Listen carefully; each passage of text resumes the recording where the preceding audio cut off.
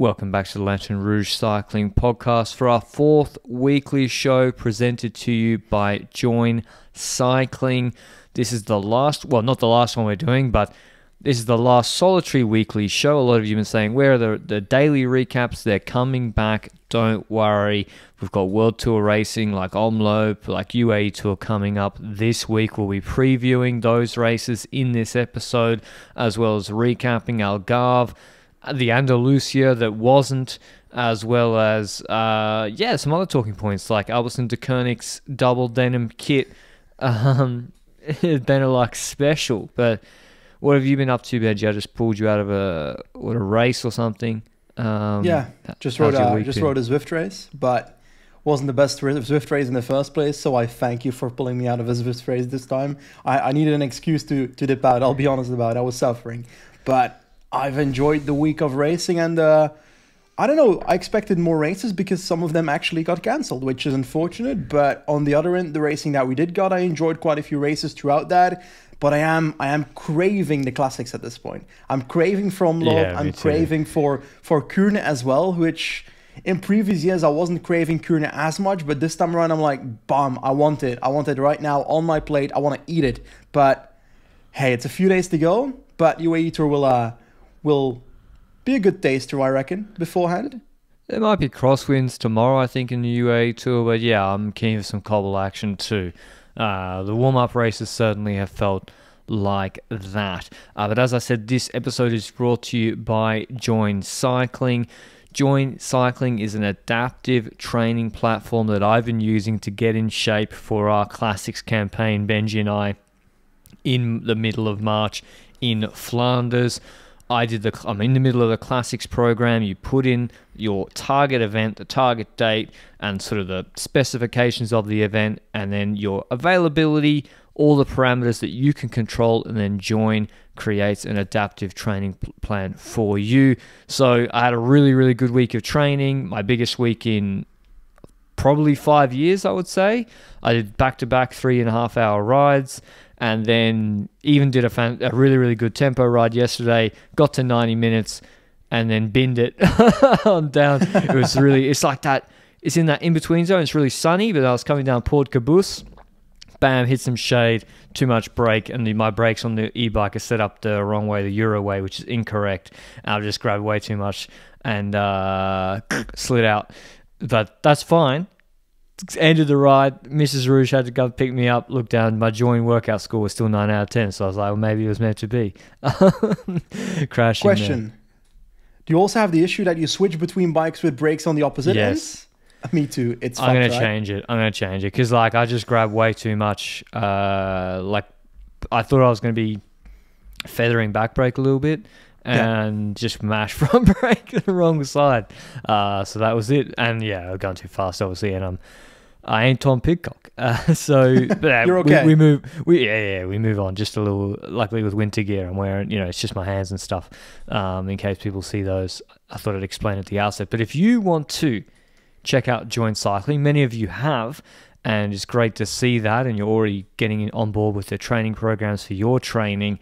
You can get a special offer for listeners to the LRCP, a 30 day free trial period without even inputting your credit card, as well as then at the end of that free trial period, you get a six month subscription offer at a discount via email. For some of you early activators, that'll be coming up shortly, that offer. So make sure you, you stay tuned for that email. You just need to download the Join Cycling app in the App Store or Play Store and go to join.cc slash lantern rouge to begin or to get that offer uh, rather. So there's no no strings attached. Go check it out if you like it, which I'm sure many of you will. Uh, then you you can got that free, uh, free 30 day offer, and you don't have to bin it like me. So I'll be on the trainer this week. I'll say I I broke my rear shifter, well right shifter. I just snapped off. I was that's the, the worst bit. All right. Enough about me. We can talk about uh, mechanicals now, though. Someone who did see he had a shifting issue, same one he couldn't shift in Algarve, Mr. Remco Evenepoel this week.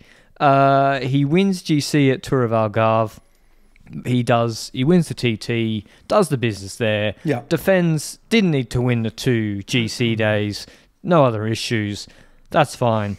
Uh, but then today he got beaten by Martinez again in the sprint. He said he couldn't shift. He did the whole re- final of the stage in the big ring. Was that what he said? Yeah, that's what he said after the stage. When he crossed the line, I felt like he was like looking down to his stem and was like feeling whether his front tire was like flat or something. Yeah. So I was I was expecting the the sprinters excuse of oh I've got a flat tire in the sprint or something, but then he comes with the uh, explanation of the of being stuck in the big ring. I I'll be honest, I haven't checked whether he was stuck in the big ring on the footage or anything, so I, I can't say if he was or not. What sorry? I think he was, but Fa- Fabio's taught him well.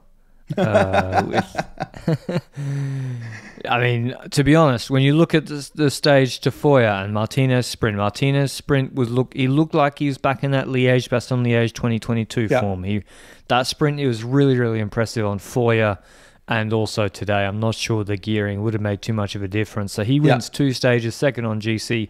Uh, Van Aert won. He didn't go for the first sprint, went for the third sprint uh, positioned himself quite well. His TT was a bit lackluster, or not a bit, a bit it was quite lackluster, I would say, his TT. Him and Ganna, yeah. uh, really not good TTs, Mate, but he said he hasn't been training it, I guess.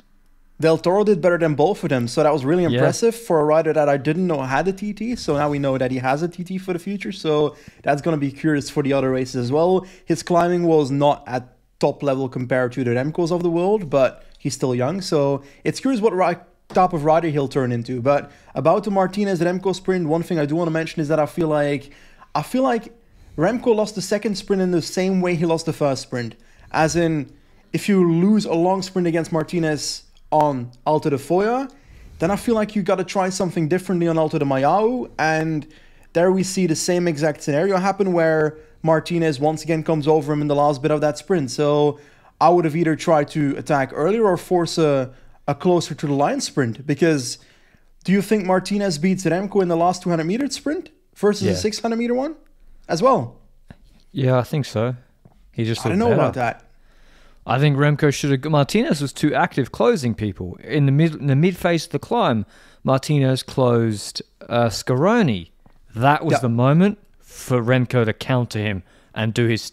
I think Remco was the strongest maybe on the climb overall, uh, and that was the moment. But he didn't need to expose himself like that because, you know, what if he then gets countered and loses GC? So I guess he didn't have yeah, as much to lose.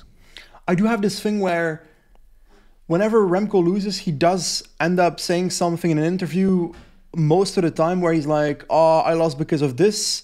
And even if it's true, even if it's true that he's in the big ring or that he makes a mistake in the last kilometer that otherwise he would have won, I would enjoy seeing that humility of like saying fair play, Martinez won it, stuff like that. You know, I, I kind I, I would like that more. That makes sense. Yeah, I think you said something like that on stage two as well. It's like Martinez cooked you and put six seconds into third. Like sometimes another rider's just better. It's like if yep. Pid, Pidcock closed Kuss and, and Malo and he shouldn't have. You know, could he say, "Oh, I lost the stage because I may, yeah, maybe, but not really." Like, I don't know. Sometimes the criticism of Remco is unwarranted. A lot of the time, sometimes I think he opens the door for people to have a crack at him as well. So uh, a bit of both. But yeah, he wins GC handily, his third uh, win in this race. Andalusia, unfortunately, uh, didn't happen. There was farmers' protests, which kind of like when the Tour of Britain got cancelled in 2020 Two, yeah. when the Queen died, it meant that police resources were diverted, and so I, I think it meant they couldn't, they didn't have the necessary police resources to run the race because the Guardia Civil got called to Madrid. Yeah, is I, as I understand it. Uh, and basically, we didn't know what the race would be. We knew we'd have a TT. Then it was supposed to be a TT plus 200k stages on the weekend circuits, and then eventually those didn't even happen.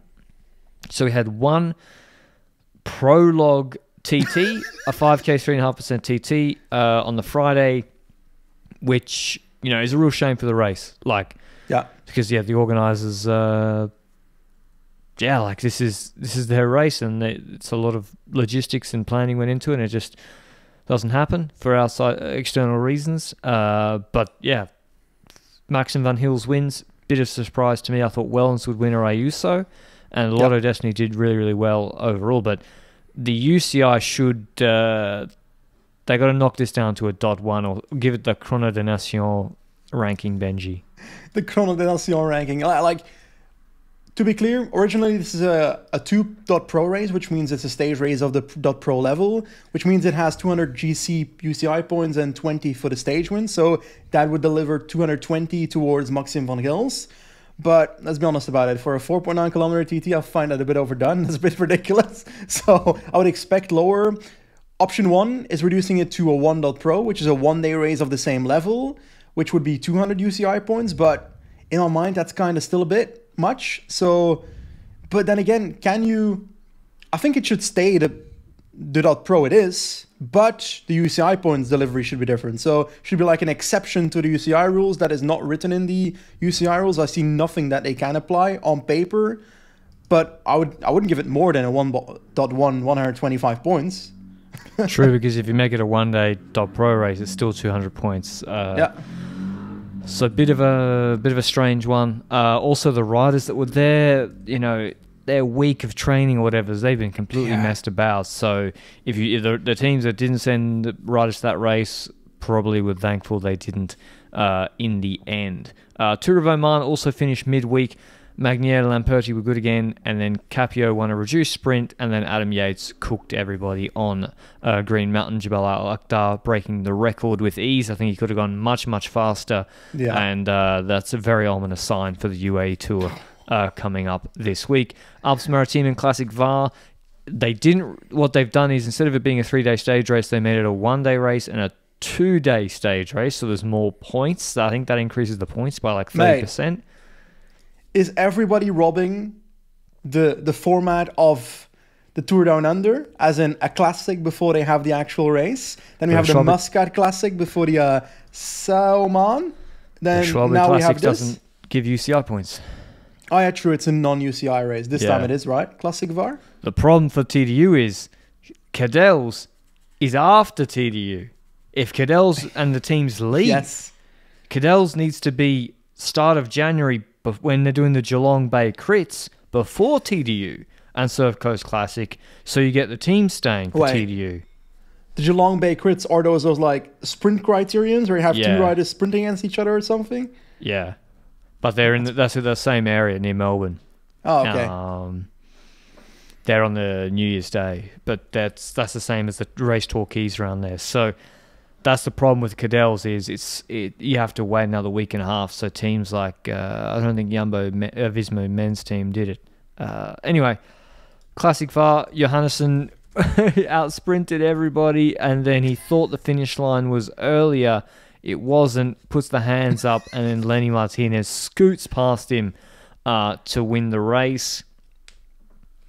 I don't know. I've looked at the finish a few times, Benji. They were saying, oh, there's an arrive sign. I don't think there was an no. arrive sign at 25 meters. I think that was at the finish. There was no arrive sign at 25 meters to go that I could see, but there was like a metal construction that looked like a bit of a, an arch around the road at 25 meters to go to me that didn't really seem like a, a finish line but if you're in the middle of a very hard effort you just die to to try and win this race. I can see how you could confuse that but it's it's so oh it's so painful to watch. It's painful and funny to watch. And oh like to see lenny martinez win is always fun but to see johannessen lose in this fashion because he was pretty dominant on on this final hill. So he uh, was a great performance to, against bardet who went too early. So Johannessen cooked, but Lenny served the plate. He ate it. He ate whatever meal he served. Uh, yeah. But yeah, it is. If you, I can't remember if it actually had a roof, whatever arch it was. I guess by definition, an arch must have a roof, otherwise it's not an arch. Uh, I didn't know that. If it, it's very strange to go underneath a structure at 25 meters to go. like that, that is strange. Mate, so Down Under did it with Alaphilippe celebrating the KOM points was 100 meters to go. That was just a line on the ground. On the ground, I think. it's even worse. It's a finish line on the ground for the KOM. I, I swear, there's some races where there's like a million lines on the ground. It's. I'm not surprised this doesn't happen more often. Uh, in the actual two-day stage race, uh, a little bit not as good as the yesteryear of Quintana against Wellens, but nonetheless, uh, Ethan Vernon won a reduced sprint. Uh, for Israel Premier Tech, his new team. They were here with Woods and Fuglsang. And then uh, I think Sean Flynn became like an option for DSM on, on GC, but yeah. He got dropped today, and then there was like a million riders on the French teams attacking each other on the final sort of gradual climb, and then Cosnefroy won a reduced bunch uh, sprint, an even thinner sprint. And importantly, his teammate Paret-Peintre, who led him out, took the bonies away from Albanese. Mini yeah. Also won GC. Albanese, I was surprised to see not picked up by another team. A good signing for Arkea. So Benoit back, Benji. Decathlon, I think this is their this is the best they've looked in a long time, I must say. Oh well, Gall wasn't too bad last year in the tour, so that that's a thing. But I mm. I agree that in these smaller French races, that they're more prominent that they were than they were last year, in my opinion. And to want to a stage like this shows that we're probably going to see them winning more of these French type races throughout the season. And hopefully they can also pick up a, a race of a higher level throughout this year because we want to see uh, Benoit back in action on the on the punchy hills whenever they uh, exist in Paris or Tour de France or Dauphiné or something. We want Benoit back.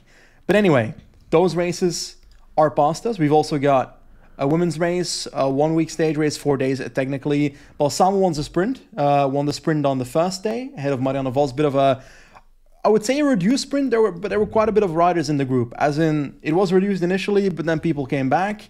Stage two was more of a a GC kind of day where there was a, a group that survived the climbs, and then Reusser had a very well timed attack for, away from the group, and she took 30 seconds on the rest, and that would be a very valuable 10, uh, 30 seconds because on day three is the actual like queen stage with Xorret de Catí. I think we know that climb from the Vuelta a few times uh, in the past. Yeah. But Niamh Fisher Black, SD Worx teammate of Reusser, was really strong that day, winning relatively comfortably in my opinion over Realini. So I don't know. Is it Realini that isn't at the level I was expecting, or have we seen Fisher Black, Neve Bradbury step up, or is it a combination of both? I think Fisher Black does seem to have stepped up. Uh, I think she's doing good numbers, and yeah, I think Fisher Black looks really, really good. Uh, maybe she's just targeted better races. It is a super steep climb, Xorret de Catí, especially solo. Um, yeah. And yeah, the the SD Worx machine keeps on rolling with the yeah. GC win for Reusser. Like they just don't stop winning, and even holding on Reusser on a climb that that difficult. I mean, it's not that difficult, but you know, it is it is the climb where Kuss actually that's where he took the GC lead. I'm pretty sure. Oh, maybe I'm wrong. Uh, that was the day before in the Vuelta last year. I think this is the stage Roglic won where Remco led him out and didn't know where the finish yep. line was. Um, so that's true. But hey, uh, it's a hard Balsamo won stage four as well. So two stage wins for Balsamo. I'm hoping that this is a sign that we're gonna see her back at the old level. But then again, last year she also won.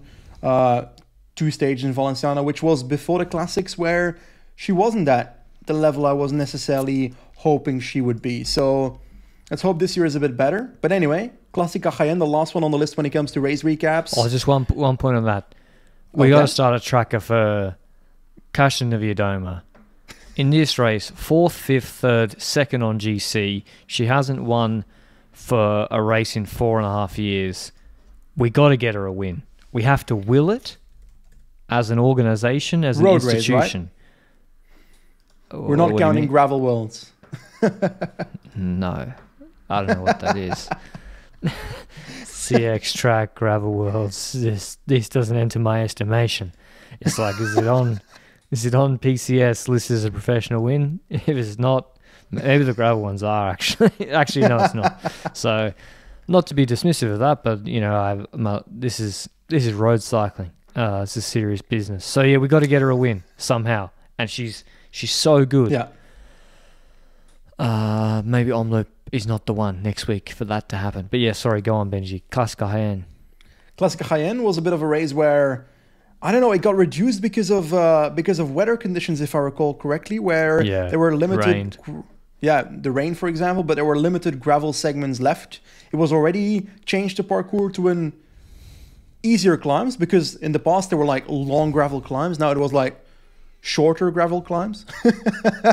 That's how I would uh, explain this parcours. But Lazkano was basically in a breakaway with four minute advantage when the gravel segment started. And I started watching this race when the gravel segment started and I saw Lazkano in a four minute breakaway and I was like, who let him in there? Like, I was shocked he was in there in the first place because I consider Lazkano a rider for for winning this from the group behind already. I couldn't believe it when I looked. I saw five minute lead. What's happened there? And I'm I'm not sure. It's like there's no television coverage. We don't know exactly what happened, but I couldn't. I was like, what the hell? Five minutes. You're never you. You're never going to bring it back because the finish is not that hard anymore, and it's not like a 220k yeah. race. So, yeah, he basically Van Aert punctured, Ineos sent it. Yum, uh, the Visma Lease bike riders were there with Wellens. They attacked. It stopped. Lazkano trucked along with Nicola Prudhomme, and uh, never they never caught him. So that was the race. Really, I would say yeah. that's why Decathlon. The reason I say they're having their better yeah. season so far is sort of this race where you see someone like Nicola Prudhomme who's been he's been cannon fodder in stage racing breakaways in the past. Yes. And then I thought the same would happen here. And then he's attacking Lazkano. He's finishing fifth. He's not collapsing. And Tronchon, who also was showed a bit of promise, but not too much, he beats Tratnik and Wellens. Admittedly, he was sitting on, but he beats Tratnik and Wellens to finish second in this race. And so they got Prudhomme, Prudhomme and Tronchon second and fifth. And that's just amongst Lazkano, Tratnik, Wellens, and Kwiatkowski, etc that's where I'm like, oh, so maybe they're Sierra Camp. They're all in Granada, I think. Maybe that worked. Maybe the bikes are better. I don't know. Uh, but certainly 19th last year in the ranking.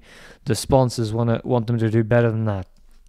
I also hope that we can see that same effect on Felix Gall, because imagine Felix Gall with like a, a, bit of a step up again if yeah. he can find a way to TT like a like a, a regular cyclist then he might be able to get close. He was 14th at the Andalusia TT, but that was a bit of a climbing one, 3.5%. So I'm not sure I can consider that 100% as the one we need to look at, but I want to see that Paris-Nice, I think, is his right next race. I want to see what he does there, to be honest. It's it's not in my head the ideal parcours for Felix Gall.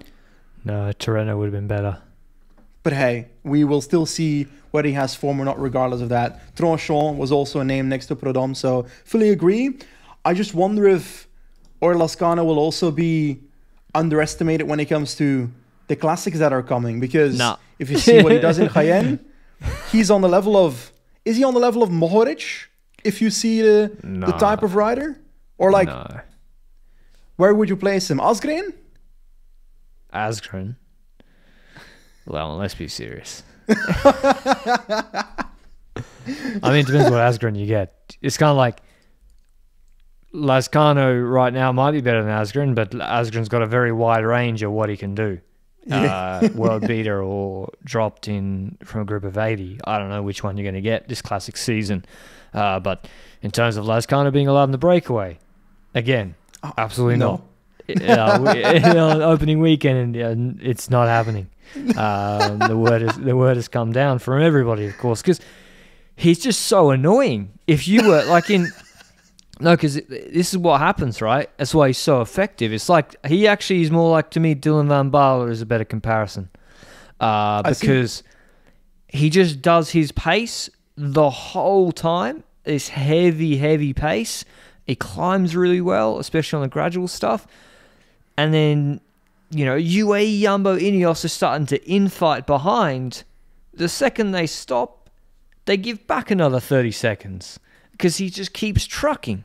Yeah. And technically, Prudhomme was beating him a bit on the downhills and the corners, but just the raw power of this guy is.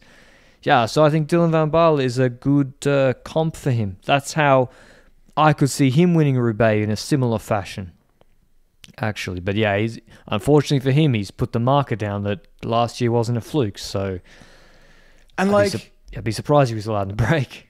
He's going to be arriving at classics races solo, in his team. Like he's not going to have much support surrounding him in the classics, yeah. I would reckon.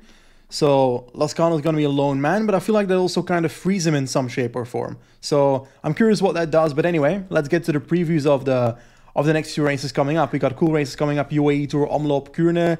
How about we start with the UAE Tour and then we jump into like a proper classics preview? Yeah, because we'll do a classics deep dive. I want to talk about it. But anyway, UAE Tour, two sprints, plus Jebel Jais, then three sprints, then Jabal Hafeet. The usual scenario, Jabal Hafeet at the last stage was a great change in my opinion, but in reality, I think Adam Yates cleans this unless they find a way to get rid of him in echelons. Well, stage one, oh, I'm a bit of a specialist on the parcours in the Middle East. Stage one looks different to me. They're going okay. from Madinat Zayed to Livar. I don't know if they've done this before, but they go south into what looks to me like a, a, a hilly dune zone around a, a, cycle track and no categorized climbs, but it looks very, very up and down, short stage. Don't know the wind conditions, but that looks different. Don't we, we don't know how difficult those hills are, uh, but maybe it is it is just a sprint. Uh, Al Hudayriat Island uh, TT we've seen before. That's a big loop, or yeah, not a big loop, 12Ks. Dan has done well there before. I think won that one. Dubai Harbour we know as a sprint, and uh, the oh yeah the others are basically sprints. You know Jais and uh, Hafeet. So usually stage one was the crosswind stage, but it, it's a different stage this year. It is in the desert, so maybe if the wind is right, we could get it tomorrow. I guess to your point, Benji, if you're not UAE, you guys got you got to try to drop him tomorrow. You have to. Yep, I think so as well. Like, there's also the fact that when it comes to other GC riders, I'm looking at a Bilbao van Wilder Jan Geert, who was good at Green Mountain, but then again who knows? He might get poisoned again at UAE Tour. Einer Rubio, Simon Carr. Simon Carr is also a name where I feel like at Mallorca he was good, so I feel like top 10 here is not impossible. Van Eetveld top 10, I reckon, is also possible. Poole, Bart Lemmen. yeah. He's there. I'm I'm seeing Walter also on the on the provisional start list. I'm not sure if he's confirmed or not. Yeah, Walter's doing it. So yeah, I feel like I feel like Yates is like a lot above all the rest. Yeah, because there's no Remco last year, and then Poggy other years. Yeah. So th- there is a big gap, and then Plapp was good in the really good in the TT. So there's not even like a a really strong TTing GC rider who'll beat him in yeah. the TT and defend on Hafeet. Because Yates has got a better TT than yeah most of the other serious guys here. I would say he's he's no slouch. So like Bilbao, he put 54 seconds into on Hafeet last year, and there's no way Bilbao beats him by 30 in the TT. Yeah. Correction, I said sprint on stage two, but it's obviously a TT. It's 12.1 kilometers. Yeah. Completely flat. It's the the typical one on the on like little island thingy, right? Yeah, yeah. There's some good photos normally of that one with the cityscape behind. Um, the yeah, there's a TTT last year, which I believe Quickstep won with uh, Merlier and uh, Remco. The yeah, Yates is the is the prohibitive favourite. Frankly, yeah. I don't see him losing. Like unless there's heavy yeah. crosswinds tomorrow or he crashes, they just I, there's no way he can lose. Uh, because he just the others can't do his his 30 minute, 25 minute numbers that he, he can do. Uh, and he, he just showed on on Green Mountain. He broke the record breathing through his nose. He could have gone much much quicker. And I like I like Van Eetveld but um, to like, date, he hasn't shown the watts. Yeah, like Yates just podium the Tour de France last year. We all know how good he is. Uh, the sprinting Benji seems a lot more equal to me. This is what I'm looking forward to, perhaps more. Is this is like really, really stacked. I'll wrap Jakobsen, Kooi, De Kleijn, Jesus, Luke wrote this. Got three Dutch riders first. Uh, Groves, Cavendish, Milano, Bauhaus, Groenewegen, Merlier, Welsford, Bennett, Mereshko. I don't know how he got in here. What the hell are Polar Bear doing here? Viviani, Ackerman, Gaviria. That is a...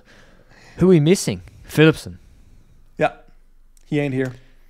Don't you think it's a bit strange they sent Philipsen to openings weekend and Groves to UAE? I would have done it the other way around.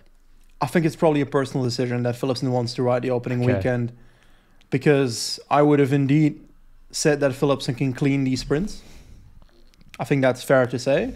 Instead, we're now going to see Groves most likely lose these sprints because Groves was good at La Vuelta, but he was sprinting against lesser competition.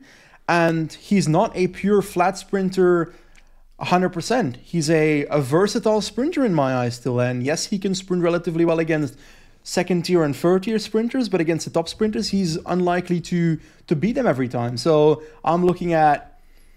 I hope that Jakobsen gets it right because that means we've got another man at the top level again this year. But I think it's gonna be Merlier, Welsford, and Kooi sharing the sprints this year in UAE Tour. Yeah, Merlier I think looks the sharpest. He just he's had a really bad lead out the last two years, like really really bad uh, a lot of the time. When he is in position, he is he wins. Uh, Tudor have a good lead out. Visma don't bring Affini or Van Aert, so it's the Van Dijk brothers and Van der Sande yeah. uh, uh, with Kooi, so they won't have the strongest lead out. Uh, I would say in terms of yeah strongest lead outs and sprinter, it, it, you can't go past Bora Hansgrohe. Welsford yep. with Mullen, Van Poppel, Gamper, Masiuk. It's they showed it in TDU. We've got the same easy stages here.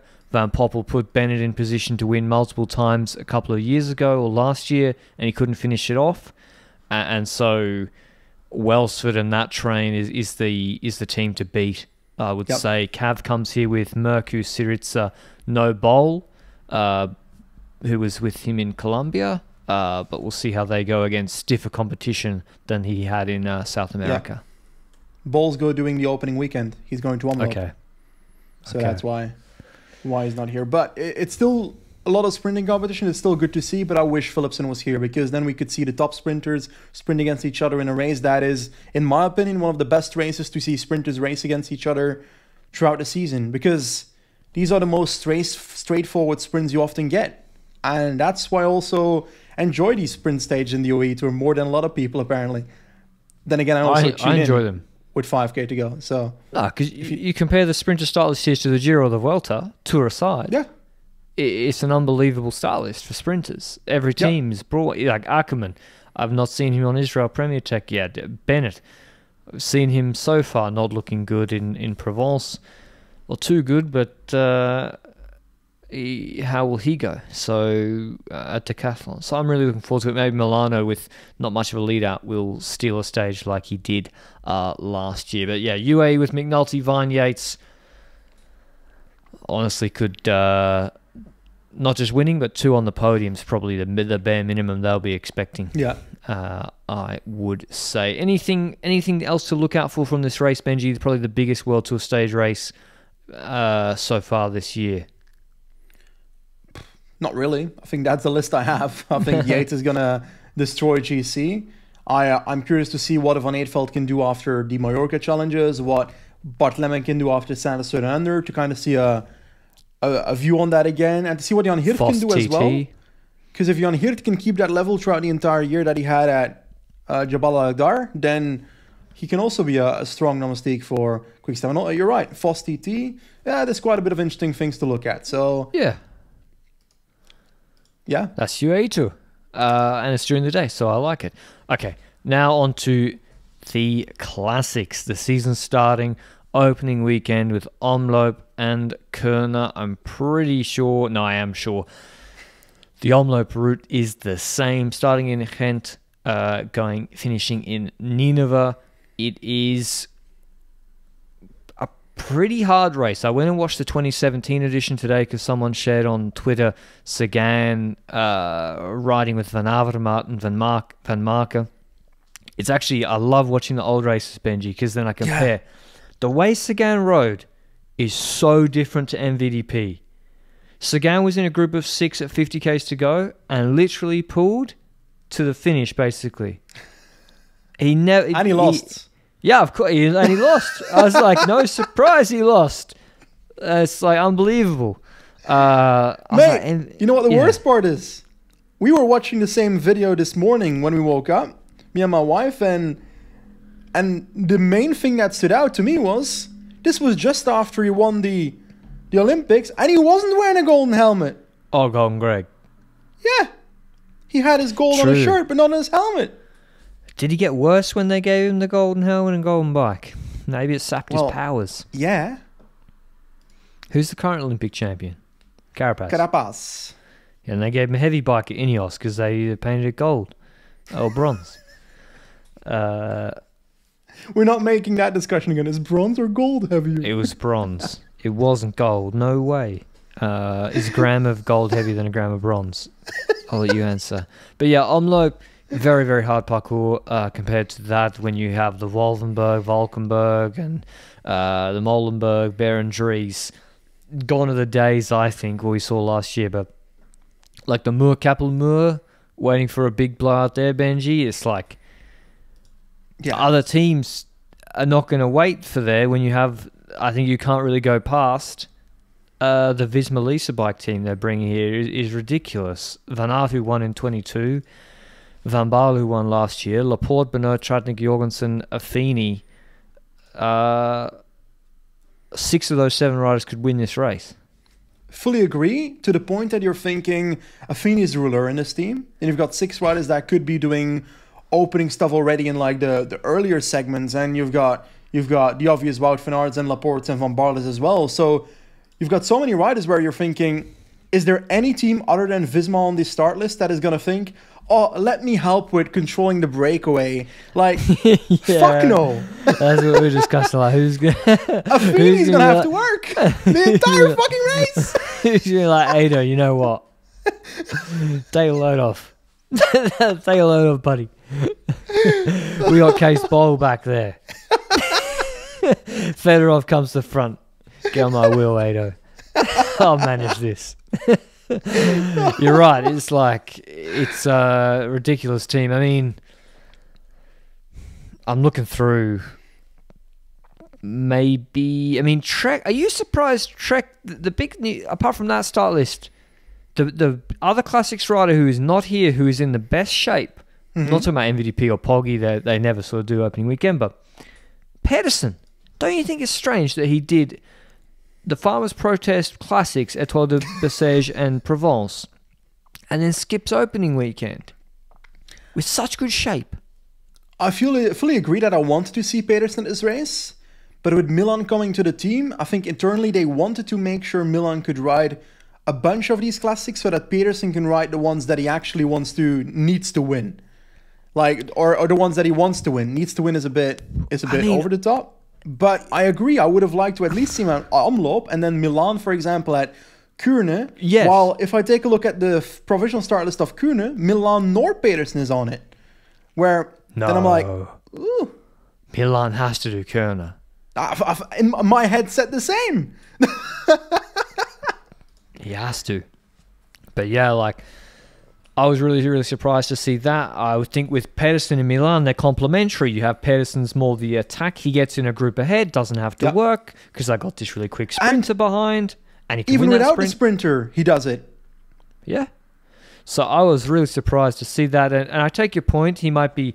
I'm sure there's a reason. This is more a fan in me speaking. I wanted yeah. to see Pedersen at the race with the shape he's got because he, I think he animates the race, and there could be bad weather where he gets like 50 watt buff. But I'm sure there's a reason. Maybe he, he wants to peak for Flanders or Roubaix. But then I'm thinking like,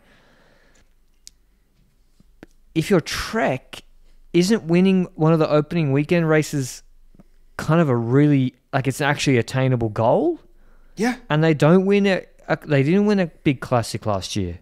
Am I right? Like when Pedersen won Gent Wevelgem against Van der Poel and Wout van Aert, that was a big thing for for yeah. Trek that year. And Omloop would also be pretty damn big in my opinion. So I wanted to see Stuyven plus Pedersen plus Milan with Pedersen as the obvious leader, with Milan as the backup sprinter, Stuyven yeah. as domestique slash rider that goes into early moves to try and upset other people a bit. That's kind of the vibe I get. Then again, Stuyven would ride in any group, even if it would be negative towards Pedersen. but uh, that being said, that would be a team that I would put not at the level of Visma, but on a level where they could be seen as okay, you need to help control the race a bit. If you're Visma, you're thinking that. But with the team they're sending now, I think Visma can't show up at their at their team car and say, "You guys need to put Tim Declercq for the break control at the start." Then again, that's what he's made to do. That's why what he was born to do.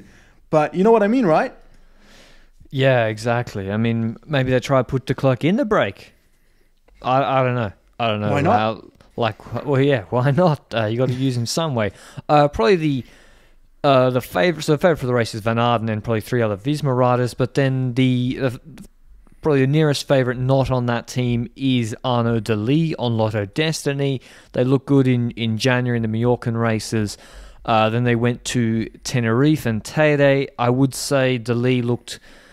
Uh, uh, it's hard to it's hard to say, but in in, in Classic I thought he looked a little bit.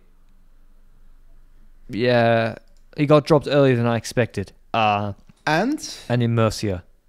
And in Almeria, his sprint wasn't what I expected it to be. In addition to that, so no. I'm not going to to the Omloop with full confidence that De Lie will be at the same level of last year. I need to see something before I can say something like that. Like his team surrounding him, Campenaerts, De Buyst, Beullens, Grignard, and and Van Moer. I'm pretty sure if I go through this, yeah, I'm on the right roster. Right, that's a professional yeah, yeah, start list. So Beullens look good. I think he's a good rider. he was he was 28th or something in Roubaix last year, so I think he's really good as like a he topped a last type. Week classics rider. Uh, Van Moer was at a good level in Bessèges, if I recall correctly. Campenaerts, I'm not sure about. As in, I would expect Campenaerts to be at a decent level, but I can't vividly recall him being amazing in the races we've seen so far yet. Then again, it's been a very limited only, amount He only did Andalusia TT so far. uh, well, no, but I, no, no, but I actually win. thought I I know. I thought he'd do better there uh, as well. So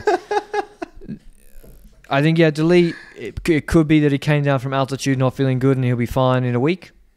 Yep. He, I don't know, uh, but he'll be. When you look at him in Omloop last year, crashed in a corner, yeah. came back uh, in time for Molenberg, missed also, the split. Oh, was was right there, and then dropped everybody on the Muur except Mohoric and the Wellens. Pulled then beat Laporte in the sprint. That's that's the guy. So I'm hoping we see that. I'm hoping we see that as well, but it's also like he hasn't won this year in the lead up either, which last year he was he was cleaning up the Bessèges except on yeah, Montbouquet. Yeah. Um, then in Morocco he won something as well, so yeah. he had been winning. So for the confidence, I think that would also have helped if he already won on Myria or something. So Anyway, let's hope we've got a competitor in that rider. But how do you think the race will know. play out? How do I think the race will play out?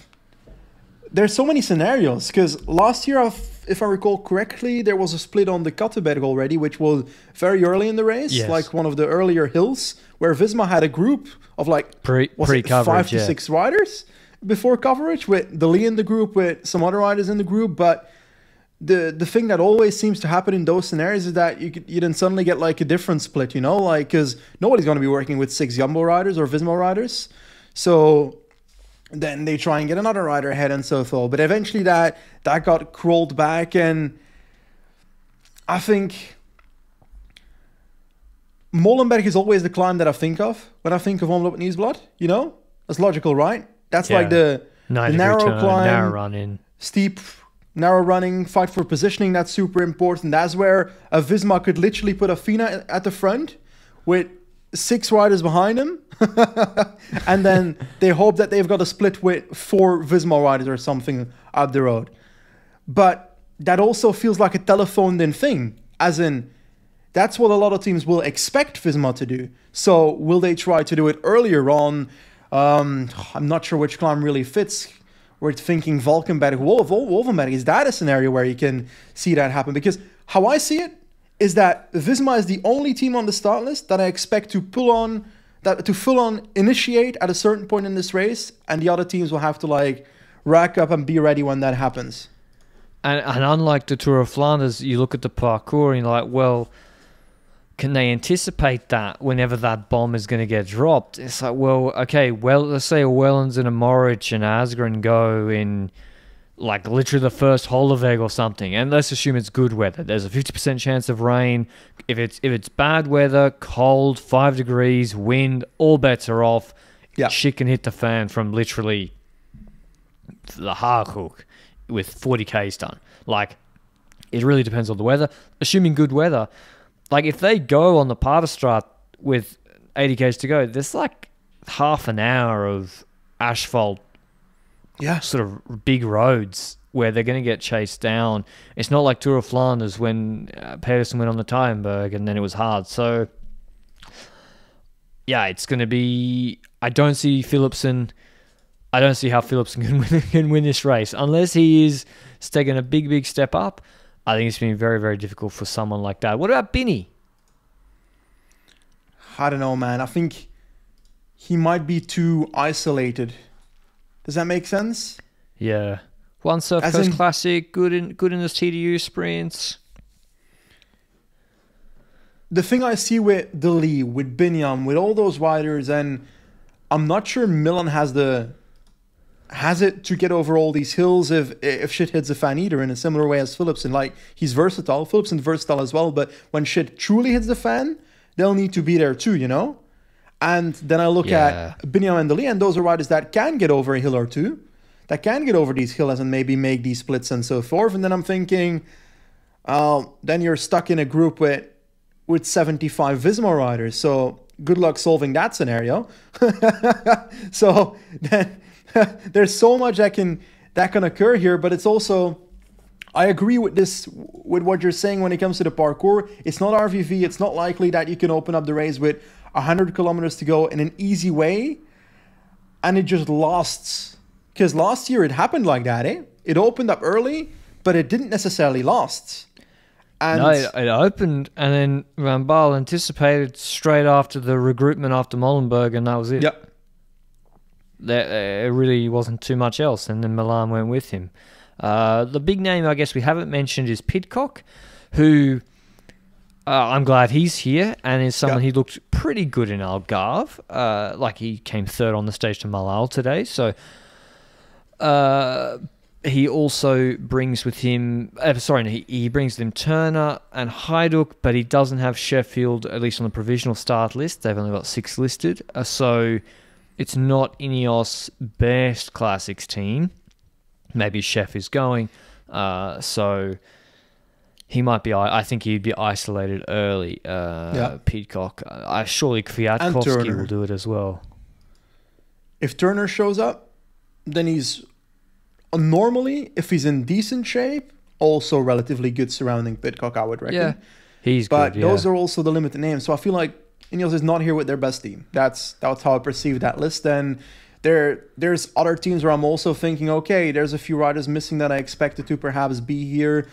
Uh, like the obvious one is that Van der Poel is not here, of course. That we don't have the Pogacars of the world. That we're looking at at Van Aert and, and the Visma team as the obvious favorites. And Quickstep, we're looking at Alaphilippe and Asgreen, and like yeah, what do you two riders where them? wasn't expecting them. Or what do you expect from them? Oh, I I kind of feel like year. I'm expecting them to try and follow whatever shit hits the fan and then try and benefit from a situation like that.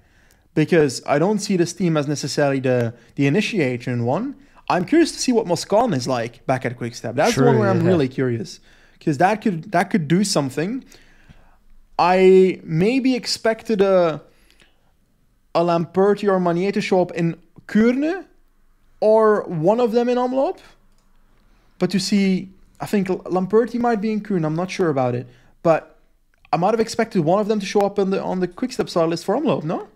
Uh, yeah, I'm surprised that neither neither of those two are here, and uh, that Gil Gelders is not here, uh, and he's not doing UAE tour either. So he's back from the Middle East. So I'm surprised. Maybe they didn't want to have the young guys do Oman and then do opening weekend because all three of them did that. Uh, but Gil Gelders impressed me in uh, in TDU. He won Wevelgem Juniors or U23. Like, frankly, I would have him instead of Casper Pedersen. Uh, they do have Warre. How do you say, Benji? Van Gerloever. But relatively perfect, actually. I'm, I'm proud of you. I'm flying. Uh, he's a classic. Axel Zingle top 10. Young talented French and confidence. Uh, I gotta say, he's consistent in Provence, uh, but I hoped he would beat Pedersen. I was looking for that extra step up when Pedersen did all the work. Uh, mm-hmm. Bahrain, you can't count out; they'll be active, as yep. well as I'm surprised Cosnefroy's not here for Decathlon. There's a lot of those sort of riders who I'm surprised are not here. Uh, like they're in good shape. I know he's probably going to do the French Classics or like Michael Matthews. They're not going to win Tour of Flanders and uh, they're not doing this race where I think they can get a really good result. Uh, yep. Especially someone like Matthews is surprising to me. But are we uh, are we disrespecting Wellens by mentioning him in a limited fashion? Because I feel like he's in the same scenario that I see. Uh, it's it's you you said comparing Lazkano to Mohoric might not be perfect, but I feel like when it comes to their role in the race, the way they should probably play it, they're all going to be thinking similarly. Like Wellens, Lazkano, like uh, Mohoric, they'll all try to try to anticipate because they can't sprint. That's the problem for Wellens. He really can't sprint uh, at all. So, well, he, he was what top three strongest in opening weekend last year. Fair to say, because he got caught at the finish line yeah. in Omloop, and he was he him and Mohoric dropped to Lee on on the Muur. and then Kuurne he was very strong, but Visma's tactics played him and Mohoric. But he's just if you're isolated and there's four Vismas and you got Jorgensen now in the team, Tratnik who is unbelievable shape. Like it's so difficult to, to do anything or to do your own race. You just have to. You're always reacting. Um, maybe maybe the other team should align and against Visma. Maybe I think we'll see that, and we'll see that from probably kilometer zero, where they're like, "No, you chose the breakaway. You brought six leaders and one rouleur. Yeah, spend the rouleur for three hours." Uh, but that's Omloop. Uh, like, I, who you got winning? Well, who I got winning? Ooh, that's a difficult one. Oh my god, Tratnik's been looking so good the last yeah, two weeks. Yeah, I was gonna pick Tratnik. I want to go with Tratnik too, but well, I said his name first, so I can. Yeah, you can go. But I think it's boring to pick a Visma rider when they show up with six leaders. So we've we've been talking about about a lot about decathlon riders, but we didn't mention them. Like, do we expect a resurgence of of decathlon in the classics? Do we expect De Bondt, no. Nas, and the Pestle and so forth to show up? The Pestle no. was, I don't know. He he had an okay time trial at Andalusia, I guess, but oh, I I think Kung is going to do well. I think Kung okay. will. Kung is good in Algarve, yeah. But winning, I'm not sure he has it to win on Omloop. so, um, fuck, man. Uh, I'll go with Tratnik. Okay, I will go with yeah, Tratnik was who I would also pick. Uh, well, but I'm going to go with Val, I'm going to go with the favorite Aert. Uh, I don't think he's giving. Yeah, I think he's going to want to make a statement. And Algarve was the prep race. Uh, Kuurne's the next day. Koerner is like a, a different sort of race in that it's, it's flat uh, in the last 80 or 70 kilometers, but there's a, a much longer hill zone with longer hills. The uh, Kruisberg, Côte de Trieux, 1.2k, 7%, the Kluisberg, uh, the Mont Saint Laurent. So it's really can the the hares or the the climby boys get enough of a gap so they can hold on for 60k's before the after that hill zone uh, for the sprinters team. So I really like Kuurne. It's really delivered excitement yeah. the last few years. Uh, I seem to remember the oh the Asgreen one was very very good, but that start list is usually very very similar. A few more sprinters come in like Démare for Arkea, and riders like Bini I think become much more realistic in winning because there's no if if Visma don't get it right in the hill zone and they don't get enough of a gap, or predictably no teams work with them after that, and Intermarché and other teams can band together on a flat parcours to chase, then it's much more realistic that Bini can win a sprint or uh, Philipsen can win the sprint. He's here for Alpecin Deceuninck. So I see Kuurne as much more, uh, not much more, but quite more, a bit more open than Omlo. I um, it's it's kind of the one year where I feel like I don't have confidence in a sprinting Kuurne. Really? Yeah. And the reason that I think that's the case is because when I look at the provisional start list, there's only one sprinter there, so that helps. that helps my case. Actually, Démare's here as well. I, I hadn't noticed Démare yet, but I'm looking at Philipsen, if I recall, Démare, if I recall, and then we're looking at a Piffy, a Govakar. Well, Bini, like, if you're Bini, you don't want to sprint against Philipsen on the line either. Eh? You won the harder race anyway, so. Would you rather sprint against Philipsen than Kuurne? Or be in a group of four Vismas? I agree, I don't know. but I think beating Philipsen in the sprint is also an unlikely scenario. Yeah. De Lie's not on the provisional start list. Yeah, I would have I'm preferred to see by De Lie start here list. because if you're De Lie, you want to get your goal. If you're De Lie, is winning a classic, right? Yeah. So and Kuurne is a prestigious race. Yeah, so I, I would have liked seeing him in Kuurne instead of like Le the next week, for example, stuff like that. Um, but he ain't here, so we gotta live with it. Kristoff's of the world. ah, should we still count that as like top sprinter? I don't know. Nah, Kristoff can't sprint anymore. Waerenskjold's better. So I'm not looking at the biggest sprint field, and as a consequence, I feel like we're just gonna have an open race, have a hard race. Wind will play a role most likely, and I think this is the one where Visma could clean if they really get it right. I'm gonna go with Marius Mayrhofer winning this race, uh, just because Tudor looked all right. He looked okay in a sprint in uh, Algarve, Yep. decent in Mallorca, decent on a, a hilly course uh, in Figueira. So I'm gonna go with him. And another one who's doing Kuurne is Vito Braet, 23 year old on Intermarché. Just watch out for him. He might sneak a top 10 uh, if it's a really, really hard race. He seems to climb decently well. So, uh, Yeah. but yeah, otherwise I'll go for Laporte. Probably, I'd say Laporte winning this. I've got Uh, a a one-two for Visma with Van Aert gifting it to Van Baarle. Why would he Why? it to Van It Makes no sense. Van one, he doesn't need gifts. Uh, Benoot is like previous winner, but Benoot's just been, I think, he had COVID at the start of the year, then crashed last week in Algarve, if I recall correctly. yeah, so he did. I'm not sure if we can expect the Benoot that we had last year. He was also sick last year, but that was earlier before this prep. Uh, so I don't know. I'm I'm not sure what to expect from Benoot, but I don't expect him to be on the level of Tratnik.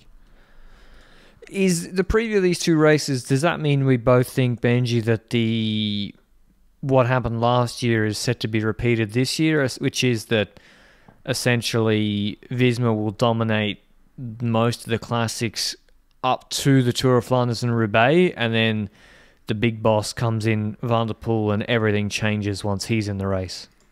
I think that's a scenario I'm looking at because Visma has the team that they should be cleaning up these smaller classics, to be honest.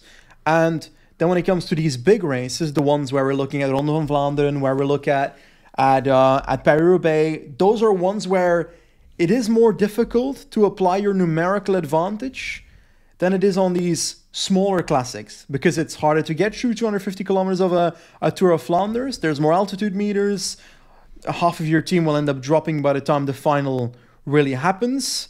You will have to respond to more anticipation because there's more space to anticipate in the big races. So in RVV, the group with was it Asgreen last year together with um was it Merlier that was in the group helping him, for example, with Jorgensen and so forth. Those kind of groups happen in RVV. In, in Roubaix, you'll have anticipation as well. Roubaix is an added luck percentage on top of that. I I do feel like this is the best year for Wout van Aert compared to last year to win RVV. Because while Van der Poel is there, and I consider Van der Poel to have an advantage on Van Aert, I would say that Pogacar not being an RVV is a major bonus for Van Aert. Because if Pogacar's there, Van Aert can't win. Yeah, when Poga- Pogacar can do the last 50 kilometers three minutes faster than Van Aert. Yeah. So what tactics? I'm all ears. What? there's not many tactics to to defend against that.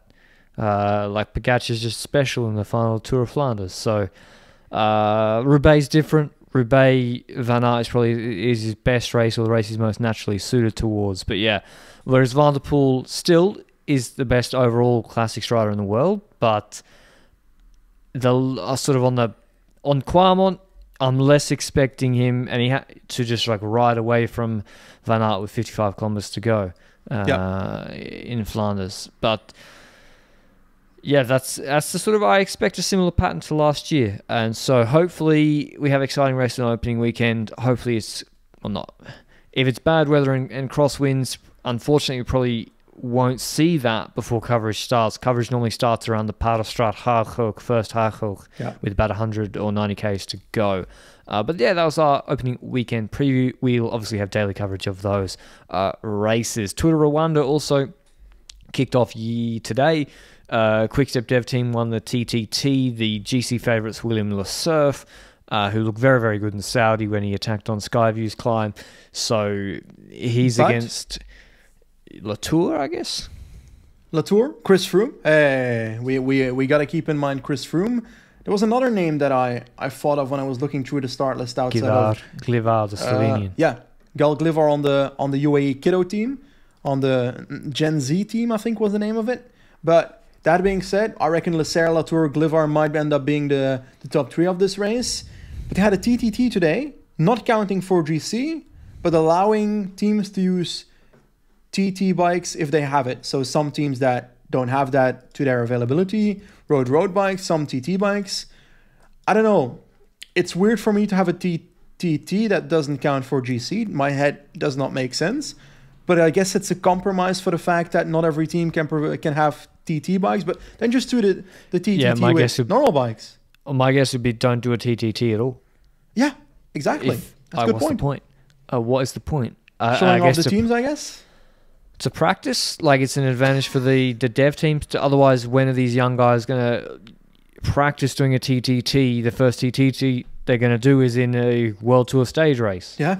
At UAE True. Tour. So maybe or Paris So maybe that's the attraction uh, for it. I think they should do the same in L'Avenir. I don't think in L'Avenir it should count for GC. Even if they do want to do it for development, it shouldn't count towards yeah. uh, GC. Uh, otherwise, Gran Camino is probably the the other stage race that's worth watching this week. Very very strong start list. Weakened a little bit because Quintana's out with uh, COVID infection well, that he apparently picked up. Yeah, he wasn't ain't moving the anyway. needle, mate. yeah, yeah. Uh, but this is where I mean, Ineos team is much stronger uh, than its UAE Tour team. Hayter, Rodriguez, Castro, Fraile, Bernal, Tarling, Kwiatkowski, they ain't messing about. That's one of their, that's like a welter team, frankly. Carapaz here for EF alongside Piccolo, Powless, Uran, uh, and Carthy. That's their Vuelta or Tour team. Sosa here uh, but Quintana was supposed to be here, and uh, Lenny Martinez and Gaudu, that's their tour team, Groupama FDJ, and obviously then uh, Vingegaard returns the Tour de France champion with uh, Tulett and Uijtdebroeks, Kelderman, uh, I'm not sure who else. So this race, Benji, restarted uh, two years ago in 2022 and now has a ridiculous yep. start list. I agree, but despite the ridiculous start lists, Vingegaard should clean this. I know it's start of the yeah. season, but Vingegaard should clean this. Well, I mean, his his GC rivals that I've just read out. Unfortunately, there's a, a hilly ITT 15Ks. He should be beating uh, Rodriguez in that sort of TT if he carry if he's in any sort of shape. Uh, but I guess there's some tricky medium mountain stages, like stage one, uh, stage two from Taboada to Chantada is they do repetitions of a 5k 6% climb. EF, I dare say, might try something there. Yeah, but uh, there's another hill stage. always try too early. Yeah, and then the final stage is 7k's 8%. So it's going to be a good race. I mean, if you see these guys attacking each other, it's it's always exciting. And a 2.1 I can't wait to watch. Do you think is Hayter the favourite for the TT? Or no, Tarling. Tarling. Even with the the hill and the slide cobble section hill? at the end. Okay. It's not a crazy hill, right? Let me check it to be sure. They're not spreading nonsense. Ah, 1.5 kilometers, 4.8%. Tarling should win this time trial. Okay. Uh, and then Hayter, it's going to be tough for him if they kick off on this on stage two. It is a flat finish, but after 5k, 6% climb. But yeah, I'm really looking forward to this race. And Mate, uh, Berwick. Yep, he starts here for Caja Rural. He did Andalusia and Murcia, but yeah, let him go in the breakaway. Come on, let him have a break win. I uh, I also want to mention Jefferson Alveiro Cepeda. Yeah. He did a shockingly good Vuelta Andalusia TT. Fourth.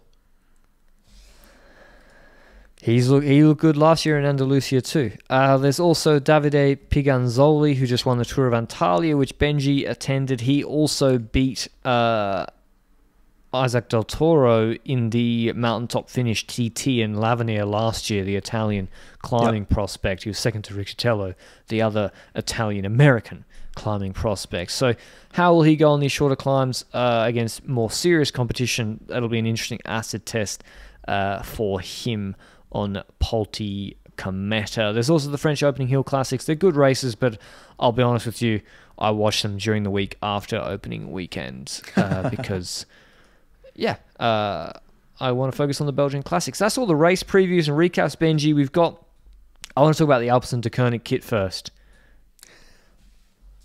I think the UCI has to step in and do something. And obviously, the opportunity for that has passed because I presume kits go to the UCI for approval. The amount of navy with white accent kits in the peloton at the moment is unbelievable. If we look through the teams, Quickstep, now Alpecin, and they already had it, Movistar, Lidl-Trek, Groupama FDJ. It's five kits. Israel? Israel, sorry, yeah, a pro team. Israel is very, very similar. But like Alpecin's is identical to Quickstep's now. They've changed the kit to yeah, it's a double denim, but it goes blue, then a white band in the middle with a red with Alpecin, but that's yeah. where the Sudal is on the Quickstep, so the same red patch is there, and then blue again on the bottom of the jersey. It looks so similar to Quickstep's. It's shockingly similar, even from up close obviously you see the difference from up close, but like if you're like squinting a little bit, you wouldn't see which jersey it is. So that's that's how much it, it looks. And on the helicopter, you definitely won't see the difference. So I fully agree. This shouldn't be this shouldn't be happening. Like a kid shouldn't be allowed to have the exact same shape and colors as as Quickstep. Yes, it's denim. Yes, it's kind of jeans like, but sorry, but the the differences are way too limited for this is first of all bad for newer viewers or mainstream viewers to really uh who's who's this guy riding for again? Oh we've got Quickstep no it's Alpecin. Wait are those the same team? Stuff like that. But it's also for brand recognition th- this can't be great for for Alpecin Deceuninck for Soudal and Quickstep neither eh? like everybody must be hurting. That's what I mean. It, it, surely, okay, you want to have your goal is to the sponsors have requirements of how their colors look, etc. I understand that, but if if no one knows where your team is or where your riders are or it doesn't stand out, isn't that a problem? Like EF, you know where every EF rider is at all times. Visma's actually yellow. There's no other solitary yellow kit. There's Intermarché yep. though sometimes you can see, and Visma are gonna have to change in the tour at least. I'm surprised these teams don't want to be to stand out more because it, it all blends into one. Ineos Arkea, very very similar. Like on the road, it looks really really close. The Ineos shade now is uh, much closer to Arkea's this year. I just don't. I don't get it. I, yeah, I don't get why they. like, like, no way. Like, surely they know what they're doing, Benji, when they make that kit Alpecin Deceuninck. They like, like they, maybe, they must see maybe maybe it's, on purpose. Maybe it's on purpose. Maybe they thought we've stolen their team format, which is having yeah. multiple sprinters and a classics team. That's the good old quick step format, as in like five, six years ago. Alpecin Deceuninck is now doing that better. We've we've shown ourselves to be that team. Now they want to now they want to steal the actual cloning as well, and they want to actually immerse themselves in being that. But anyway, like jokes aside, their bike looks absolute fire. Their yeah, kit I don't like, cool. and the fact that it looks like Quickstep carbon copy paste of it, that's garbage. So sorry, but that's F tier. Are we rating it? Yeah, I also don't know why it's uh, released now, but maybe they just didn't. Why is it denim? Such a gimmick. You guys in Benelux love your denim jean shorts. Fuck no. Yeah, you do. Come on. I don't. I don't even own denim. Um, I see denim a lot in Benelux. the amount of times you, are in Benelux, you went you guys, once. You guys love the distressed denim. Man came to Netherlands once. I see it on TV 25 million hours a year. It's all I watch is crowds of people in the Benelux region. You have a million races. I've seen enough of Benelux, and I'll be there in a month. Um, okay. Otherwise, um, you could listen to the full interview, or, or if you speak French, or, or, read the full interview if you want on Cyclisme Actu. They had a sit-down, uh, full interview with Nicola, oh, with not Nicola Prodhomme, the decathlon rider, with with Christian Prudhomme, uh, the effectively day-to-day boss of uh, ASO. ASO. I know the video's automatically played, which I can't turn off, which is a uh, very annoying part of the website. But basically, the the gist of this interview, or what I got from it, was he just didn't seem phased by the one cycling project at all. It yeah. seemed to him to be like, it's another Hammer series, it's another breakaway league attempt. It won't work. They don't have their ducks in a row. We'll outlive this. Yeah, and I feel like the other things I I heard of, like I saw something about uh, an interview with Milan Eržen, for example, the Bahrain boss, and he was discussing the fact that uh, that they might now be talking about all these big races like RVVN World Championships. We want some kind of three day format, and one of them could be a time trial and stuff like that. And I'm like, dude, you're you're discussing the Hammer series again. It didn't work last time. It ain't gonna work again. Like no matter if you name if it's a Flanders Classics race or not. And even why would Flanders Classics want that in the first place? Change the format of their races. Like the more I hear from it from the more people involved, the more it seems like half the people don't even know what it's about.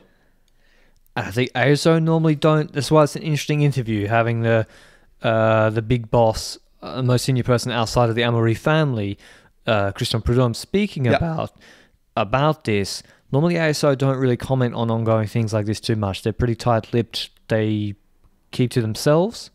Uh, and I think the fact that he's even speaking about it to me is almost like he's he just doesn't see it as a threat. Like if he was like, "This is a big yep. thing. We might have to negotiate in the next couple of months or year with this," I feel like he would have said, "I'm not commenting on about it." But yeah, to me, it seems like ASO is unfazed. Certainly, they're not involved and so it's proceeding without them if it is proceeding. Uh, but whatever idea there was maybe two months ago of like everyone around the table, ASO, RCS, Flanders Classics, all the teams, that certainly does not appear to be the case anymore. And I feel like the initial conversation was okay, we want the calendar where races don't overlap, where the top riders can be at every single race. And now the conversation seems to have changed towards okay, now we're gonna have like an extra racing league under the one cycling banner, and that's gonna be outside of Grand Tours. That riders can still use that to prepare for Grand Tours, and the one cycling top riders will then use that and be there. And that's a completely different storyline already. Yeah. Like, major difference. So I'm curious what format it will land on, because that will 100% decide whether it's successful or not. Because the initial storyline, it being like a one cycling uh, thing that basically is the new calendar. That's a thing, but if you then have like the other old calendar next to it with other races that aren't part of it, and then riders jump from the one cycling events to the others, then you've got Hammer Series again. I know, yeah, and so stay tuned. But uh, whether this sort of drops in in three four months as some as a big game changer, I'm not uh, I'm not so sure. It doesn't sound like that at the moment, uh, based on people that are speaking publicly about it. But yeah, go and read the transcript of that interview if you're interested in hearing more. Uh, otherwise, there's a curious interview with Vlasov, I think in the Italian press, Benji. And this is, we've seen this with UAE, first with Almeida. Almeida said, it's not my job to decide how I race in the tour. I'll race for myself. It's for the directors to figure it out. Paraphrasing here. Uh, when people said, well, it's all in for Poggy. Because they go, Ayuso Almeida, Yates, Poggy. Then you had Vlasov this week. He said, I'm not going in as a domestique. We go in as as co-leaders, and then we see who's the strongest with Roglic at Bora for the tour. And then Kuss gave an initial interview where people asked him his ambitions, and he said, uh, "Yeah, he'd like to go in and and lead the tour team as well." And I think he, in a subsequent interview, he backtracked a little bit and said, "I didn't want to appear under ambitious." I, I know that you know Vingegaard is is the boss at the end of the day in the tour, but still three different teams, Benji, potentially with leadership quarrels. Yes, but I think Visma the one I'm, is the one I'm least worried about. As in, Vingegaard's going to be all-out leader there, but I think they're always going to use Kuss as co-leader initially if it's possible. It's worked before, they might as well try it again until it doesn't. And if it doesn't work, they still have him as domestique anyway. So it's not like that will remove him from his domestique duties. He will be super domestique, co-leader, and if he sees an opportunity, they'll use him in GC in some shape or form. That's how I perceive that. And the man just won the Vuelta as well. He was better than all the other competition in that in that race outside of Visma. So he has the right to talk as well. He, he has the right to say, uh, I want to be co-leader in some shape or form. I don't think he sees himself as uh, I'm, I'm on the same level as Vingegaard. I don't I don't I don't believe that phase. And that's also not the way he said it in my head. Then UAE, when it comes to Almeida and so forth, Pogacar, Ayuso, and Yates, I've got no clue what's going to happen with UAE at the Tour de France. That's the beauty of it. The beauty of it is that we don't know. Because Pogacar's done the Giro. What shape will he come into the Tour de France for? We don't know that. Ayuso, Almeida, and Yates. We know Yates has podium to Tour de France. He could be some kind of co-leader fashion. Is he better than Vingegaard? No. But it's going to be really cool to see all four of these leaders try and upset Vingegaard in some shape or form. So I think that could be a good vibe going on in that race. I reckon Al- Almeida and Yates have got not necessarily the confidence in to really put pressure in that shape or form, but when it comes to a Ayuso, he's kind of unpredictable in my head. Whereas he, if he can get to a higher level than he was last year, then I want to see him try some some crazy stuff. I feel like he's he's got that cyclismo in him. When it comes to Bora, Roglic, main leader, the team has already said it kind of. Hindley, I think he has a right to talk. I think he has right to talk and say, I want to be a co-leader at the start. Vlasov, zero right to talk. When it comes to the Tour de France co-leadership, he's not shown anything to be able to say, I want to start off the Tour de France as co-leader, stuff like that. Hindley, full warranted. He can say that stuff. He was in the yellow jersey initially, then crashed and dropped out of top five, if I recall correctly. But Vlasov, nah. For Paris-Nice, he said in the same article something about Paris-Nice co-leadership. Sure, I'm fine with that. I'm fine with that. But a Tour de France, fuck no, dude. Show it first. The problem is both Hindley and Vlasov are out of contract. And so we saw this situation with Adam Yates in the Tour de France in 2022 at Ineos, where basically he didn't have a contract extension offer from them. And so he was like, I can't sacrifice my GC position yeah. for Thomas and then worsen my contract offers. And I think even G said on uh, what's the steep 2.7k 10% climb where Poggy did like seven watts per kilo for 12 minutes and Vingegaard was in his wheel. Anyway, that steep climb yeah, Yates helped G a little bit, and G was like, "Thanks, I was thankful to Adam because I know he's in a difficult spot with the contract." Hindley and Vlasov are both out of contract. They have to first Hindley. They should probably extend. He won the Giro and don't bring Vlasov. Vlasov, why is he not doing the Giro? It's got TTKs and a really shallow start list. Yep. Makes no sense to me. We agree. They got Martinez doing the Giro, and it's like Martinez and Vlasov co-leadership. That makes sense at the Giro because Martinez, but, he's you don't know what you're going to get with him in a Grand Tour. So, but Vlasov, I do want Martinez at the Tour de France instead of Vlasov Then I think he is at the Tour. No. Oh, okay. Well, if, if he does both, then that's fine. But I would have expected Martinez to be like a domestique in, in the Tour de France for Roglic and, and, and Hindley as, as, as co-leader to try and use Hindley as co-leader. But in, in, let's be honest, in the team, they should know Roglic is the guy that is most likely to win the race. Hindley can be that co-leader in the same way that Kuss can be for for Visma to try and upset things, put pressure on the other teams. In like he did on stage five last year. He got in a big breakaway, took the yellow jersey, won the stage. So he's proven he can do that. But yeah, their their tour team: Hindley, Vlasov, Kämna, Roglic, Sobrero, Martinez.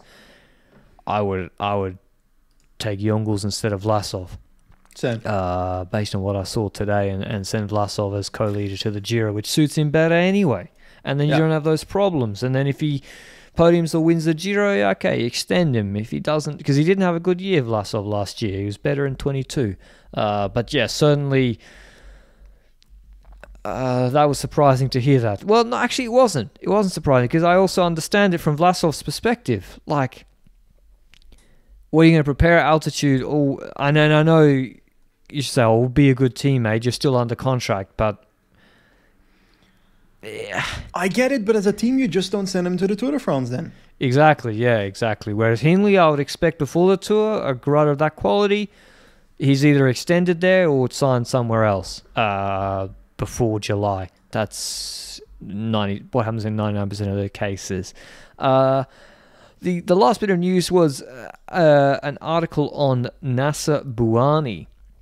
Uh, he did, gave an Yeah. interview in L'Equipe and basically said uh, it's a bit sad to be honest. The interview and listen, a lot of people don't like Bouhanni in the peloton or outside. He, uh, punching riders or uh, dangerous moves in sprints, but just because a rider's done those sort of things or lashed out in in a race, that doesn't mean that you know a, a really dangerous parcours that ends their career should just go by the by, and that's what happened essentially in the Tour of Turkey uh, Yeah. in 2022. He had a really heavy crash, um, and like really badly injured his neck and back, I think, and basically ended his career. And he was psychologically damaged from that crash as well. He had a number of crashes in short succession. He had Merlier, I think, in um, one of your Chat GPT Belgian races. Maybe Merlier did a move Yeah. and came back and just chopped the shit out of him uh, and Correct. crashed him, I think. And Monster 2022? I think that's right. And um, How the fuck So- do I know that? well, because I think we spoke about it at the time and we said, what if Nacer had done this to somebody else? Uh, he probably would have been, yeah, uh, Attacked on Twitter. Attacked on Twitter or it was Egmont or something. Uh, but yeah, Yeah, he might basically, have. he's well, the interesting thing though, the really interesting nugget from this is he says he's commenced legal proceedings against the organizers of the Tour of Turkey. And I don't remember this happening too much except for it was mooted with the Jakobsen crash in the Tour de Yeah. Polonia, and I don't think it actually Lefebvre got. He was like, "We're gonna do this, do that, take him to court, um, send this guy of of uh, Jumbo to prison." What do you say about? What was his tweet? A Lefebvre's tweet? Send this guy of. Yeah, sent this guy to prison or something. Yeah. Or some- But I don't something like that. It never really happened, and also. Uh, to get into the, the legal weeds a little bit, basically, from what I can see, Bouhanni is had uh, workers' disability insurance, or he had like uh, permanent disability insurance, or some sort of insurance that uh, if you get injured, and I know a lot of riders, a fair few riders have this. All riders, in my opinion, should have this. I know it's, it's expensive, uh, but maybe he had it through the team because he was the French team, and they got they pay a huge amount to French teams for these sort of things. Should teams provide this, or is that I think they should provide the option or like a recommendation that you should get this. I mean, agents should be doing this. It really, really, it should be the agent that should be sorting it out and making sure the rider has it, or at least saying, listen, you know, yeah, it's going to cost you 40 grand a year. It's a lot of money. If you're on, you know, I'm not talking about neo pros here. I'm talking about guys like Bouhanni who probably on yeah? over 500k. But uh, yeah, and it sounds like he's claiming under that insurance, and then the insurance probably want to uh, go after the the race organizer because it says he says I could have raced for at least another three years, so he's probably claiming under his insurance or or one or maybe he doesn't have the insurance, maybe he's claiming for his lost wages for those three years. And to be honest, it was a horrific crash, and it wasn't good enough. Uh, the safety in that race, uh, frankly. So, oh yeah, it's know. also the specific scenario in which a crash happened was that there was a spectator, physically uh, physically disabled spectator that that walked onto the course or that stumbled onto the course in some shape or form. And I said in sh- in some shape or form so many times in this podcast. I'm sorry about that, but that caused the crash with Bouhanni, and I'm like, how can Bouhanni prove that that is the organizer's fault? Is it can an organizer prevent? Like, I fully agree. Tour of Turkey organizers horrible the last five years when it comes to parcours safety. But how can we expect an organizer to keep every person off the road across 200 kilometers? Yeah, it's impossible, really. So that's the thing. Is it's if an organizer has failed to comply with safe organization rules, be it yeah. Uh, the barriers, uh, bend, uh, road infrastructure, potholes, something like that, and then a rider crashes, I can really see okay, they've breached a rule here. Yeah. They've breached their obligations for the safety of the riders. Uh, and I can see how he could. There's a legal argument there, but you're right. If someone just the person just wandered onto the road, what can you do? I guess was should it be barried off at that point? Was it supposed to be? I don't know. I don't know. But uh, like, certainly, there's been some issues with that race, uh, but not just that race, other races, and I guess this is where like the SafeR initiative is supposed to like have another independent body looking at safety in, in the races. But yeah. to be honest, I don't know why the UCI doesn't, uh, you know. Uh, but again, you see, I can't stop someone wandering onto the course. That's just you'd have to completely change cycling. You can't barrier off 200 kilometers. Yep, I agree. Uh, otherwise, he also said uh, when he was referring to his years with Cofidis uh, that it was all or nothing at Cofidis, led by team vo- boss Vasseur. I became the victim of psychological harassment there. It manifested itself in public humiliation and constant quarrels. It really made me hate cycling. So, uh, yeah, just a really, really sad interview with Bouhanni, uh, who, yeah, not everybody's favorite, but also uh, seems like he had a pretty tough time of it, yeah. not just at the crash in Turkey, but from the last eight, ten years uh, as well. Given that this guy won, um, yeah, in 2014, like four Grand Tour stages, just about, or four or five with the, between the Giro and the Vuelta, and then it kind of went downhill uh, from there when he joined Cofidis in 15. Any other news, Benji? Ooh, I, I don't think so. I think uh, I mainly wanted to talk about my training side for the for the March challenge we've got going on, the Flandrian challenge, and I gotta be quickly because I've got about nine percent of my battery left, so I'm getting worried. So my training this week sucked. Like it's my fifth best week in the last two years when it comes to training hours, but it's not the amount of hours I wanted, and I felt like every single kilometer that I did during training today, uh, t- this week, felt like an obstacle. It was one of those weeks where I think you look at is it motivation, is it fatigue, and I think it's more motivation than fatigue this time around because I before the rides I feel like ooh I can I can take on the world. I get on my bike and I think it's because when I've got these weeks where I want to get a certain video out or two videos out or or stuff like that, my mind is like I want to spend my time on that and everything else is exhaustion. Does that make any sense? Yeah, I get the same thing. I kind of need, even though you say, "Oh, I only got to train two hours," I've got plenty of other time to do stuff throughout the days.